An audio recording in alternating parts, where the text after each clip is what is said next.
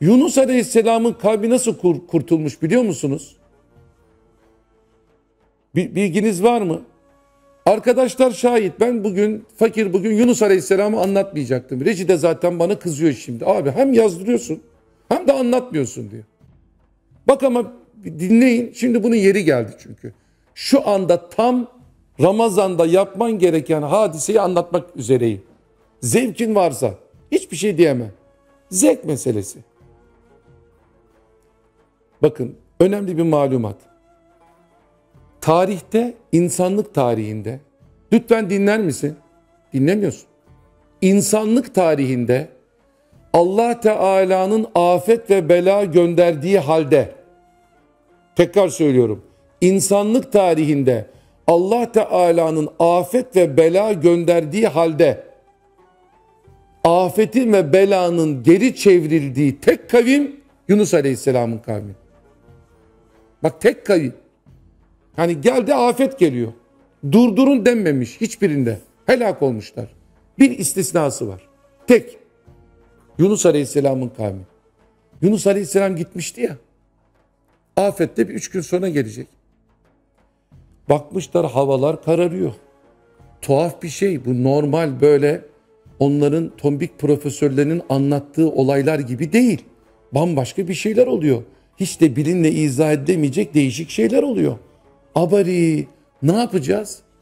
Hemen Yunus'a gidiyorlar. Ah Yunus Aleyhisselam yok. Toplanıyorlar bak. Diyorlar ki bu çok zevkli bir şey. İlk defa duyuyorsan çok zevkli bir şey. Ondan sonra soru cevap bakacağız. Bak.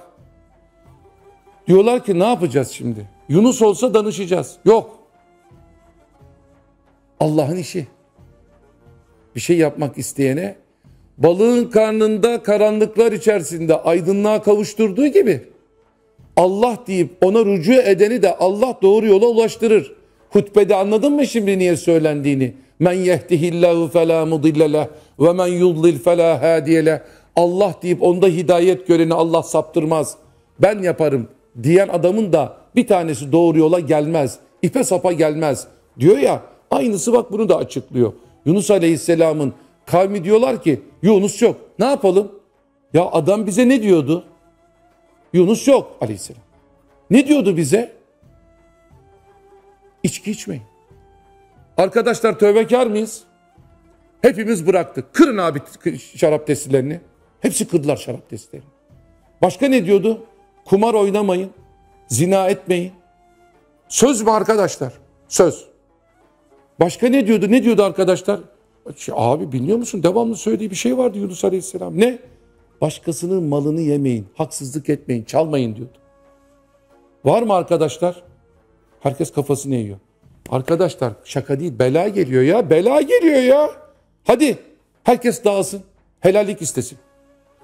Şu vaka var. Birisi geliyor böyle. Birisi geliyor böyle koşa koşa. Birader diyor gel. Elinde bir tuğla.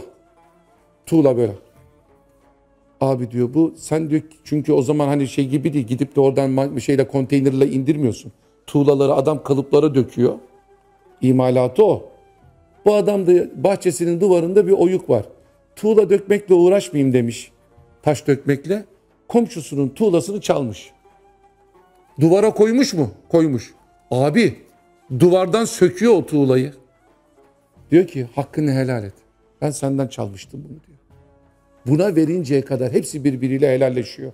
Ve ne oluyor biliyor musunuz? Allah Celle Celaluhu insanlık tarihinde tek vaka. Başlarına böyle kopup gelen bela olmasına rağmen Yunus Aleyhisselam'ın tavsiyesine, vasiyetine uyarak Allah'tan korkarak gerekeni yaptıkları için ve başlarında da peygamber biraz erken gittiği için belayı kaldırıyor. Tek kurtulmuş kavimdir. Hutbeyi anladın mı şimdi? Feya ibadallah. Ey Allah'ın kulları. Usikum bi takvallahi ve taati. Resulullah şu anda sizin aslınızda yaşamıyor diye gevşemeyin. İşte onun hutbesi ve duası budur. Onun namına vekaleten söylüyorum. Söylerken de korkuyorum. Ama hakikat bu. Size tavsiyem, vasiyetim Allah'tan gayri şeylere kul olmayın. Nefsinize tapmayın. Sadece dünya hırsıyla birbirinizi yiyip bitirmeyin. Allah'a itaat edin. Hür olun hür. Sözü var ya işte burada tecelli ediyor. Bunlar çok önemli. Ben vaaz etmiyorum. Ne, ne vaaz? Benim kalbim uyansın bana yeter. Ben kimim ki size vaaz edeyim? Ama bak vaazları, nasihatları elbette size doğru nakletmeye çalışıyorum. Uslup, tarz, hoşuna gitmeyebilir. Ama anlattığım şeylerin hepsi hakikattir. Hepsi kayıtlı kuyutlu senettir. Bizim İslam kaynaklarında mevcuttur. Ve eminim beni kenara koyarsan, iki manada da anlayabilirsin o sözü. Beni kenara koyarsan, sadece şu anlatılanlara odaklanırsan, seher vakti tesbih edeceğin, Allah'a hamd edebileceğin, insanlığı fark edeceğin şeyler konuşuldu az evvel. Mühim şeyler. Kaç dakika var? O zaman şunu getirsinler, şunu söyleyelim. Çünkü vaat ettik ya ilk bölümde. Kardeşlerim, Efendimiz sallallahu aleyhi ve selleme salatü selam okumak herhangi bir şekilde sadece ve sadece Resulullah Efendimiz'e saygı göstermek değildir. Hoş. Böyle olsa ne olacak? Yani sadece Efendimiz'e saygı için yapıyor olsan ne olacak? Aa keşke. Ama bundan da ibaret değildir. Hemen anlatalım Hızlı geçiyorum. Dinliyor musun? Hani bayılıyorum o. Seneler evvel benim gençliğimde inanmayacaksınız ama benim gençliğim ve çocukluğum vardı. Hep böyle değildi. Gençliğimde bir televizyon programı vardı. İster inan ister inanma diye. Anlatıyordu anlatıyordu böyle bir şey olur. Bilmem geçenlerde duydum abi. Ee, keler.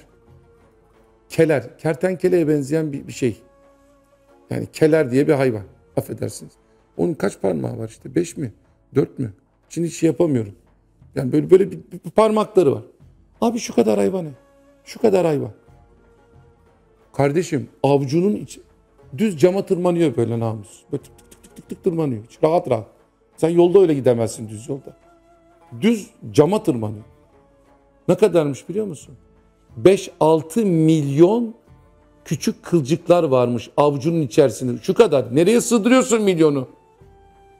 Hani Allah Teala bir mekanizma yapsaydı bayağı kontak gibi yani. Vantuz gibi. Tek bir tane vantuz. Lıp lıp lıp olsa. Yok. Allah Teala yaratılışıyla senin aklını alıyor. Bak diyor ben diyor şu böyle bakmadığın görmediğin hayvanın diyor avcunun içine 5 milyon kuldaş. Hocam o şey değil evrim o. Nasıl yani? E, şimdi hayvan ilk çıkışta bunun dedesinin dedesi kayıyor. Cırt diye kayıyor. Sonra ıkına sıkına, ıkına sıkına bir kıl daha, bir kıl daha, bir kıl daha. Milyon milyon sene, milyon milyon sene kıllar artıyor artıyor. Düz duvara. Niye bu iki ayağı üzerine kalkıp da gitmiyor o zaman? Avcunun içinde kıl yapmakla uğraşacağına bir tane daha bacak çıkarsa iş bitmişti. Değil mi? Kardeşim tekamül yok demiyoruz. O evrim teorisiyle alakalı bir geçiş yok demiyoruz. O böyle ilmi kariyer yaptığını söyleyen Allahsız kitapsız tiplere de buradan sesleniyorum. Biz bunun arada şu olmadı ondan onu demiyoruz. Biz diyoruz ki tesadüfen olmadı. Tüm süreçlerde ve evrelerde Allah'ın yaratma müdahalesi vardı diyoruz. Ama sen diyorsun ki ıkına ıkına boynu uzadı. Sıkıla sıkıla ayak adelesi yaptı. Niye başka bir şey olmadı bu? Yani o boynunu uzatacağına dört tane daha kol çıkarsaydı. Niye hala kartal avlıyor bu fareyi?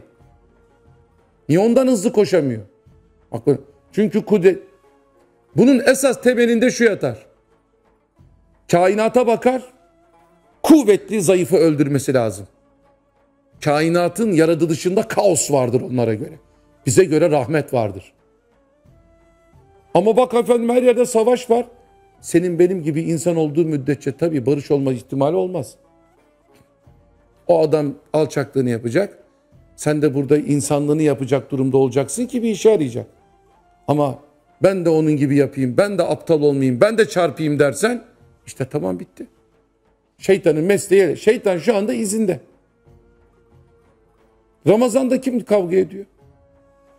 Bunu anlamak için söylüyorum.